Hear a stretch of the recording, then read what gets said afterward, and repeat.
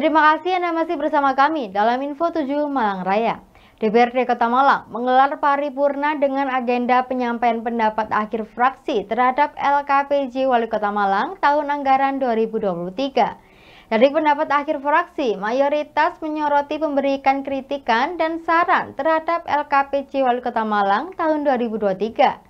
Wali Kota Malang yang hadir dalam rapat paripurna ini berterima kasih atas kritik dan saran dari fraksi dan pihaknya akan siap menindaklanjuti serta melanjutkan perbaikan dari kritik dan saran dari fraksi DPRD Kota Malang.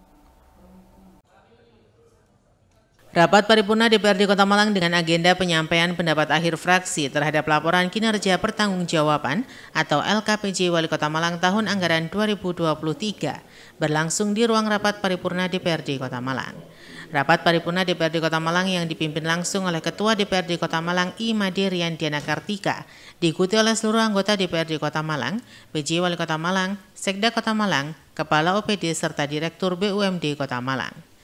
Dalam rapat tersebut, pimpinan rapat kemudian memberikan kesempatan kepada enam fraksi di DPRD Kota Malang untuk menyampaikan pendapat akhir fraksi yang dimulai dari fraksi PDIP Perjuangan, fraksi PKB, fraksi PKS, fraksi Gerindra, fraksi Golkar, dan fraksi Damai Demokrasi Indonesia. Dari pendapat keenam fraksi, mayoritas mengkritik pemerintah Kota Malang meningkatkan kinerja karena banyak target yang tidak tercapai pada tahun 2023, serta mengkritik tingkat literasi Kota Malang yang masih berada di angka 60 persen, dan ini menunjukkan minat baca Kota Malang rendah. Selain itu, tingkat kemacetan, masalah parkir, pembangunan pasar, dan masalah pendidikan juga menjadi sorotan semua fraksi di DPRD Kota Malang.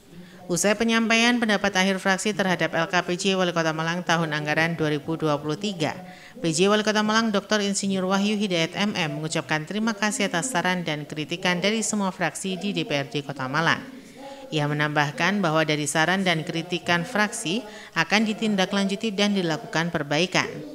Lebih lanjut, ia menjelaskan bahwa dirinya menjabat PJ Wali Kota Malang pada September 2023, sehingga banyak hal yang ia kerjakan dalam waktu beberapa bulan.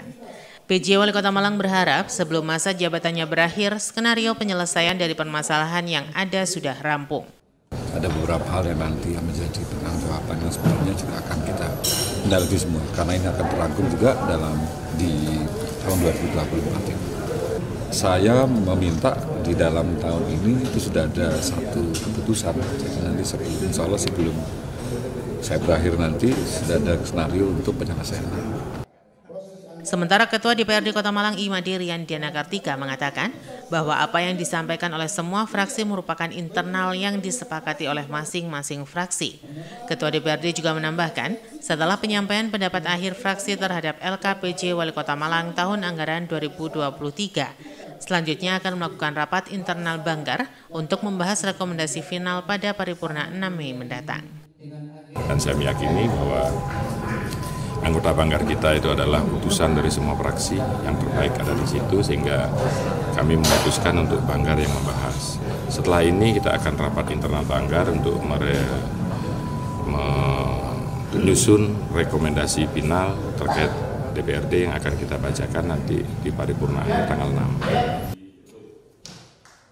Simon Alfredo melaporkan.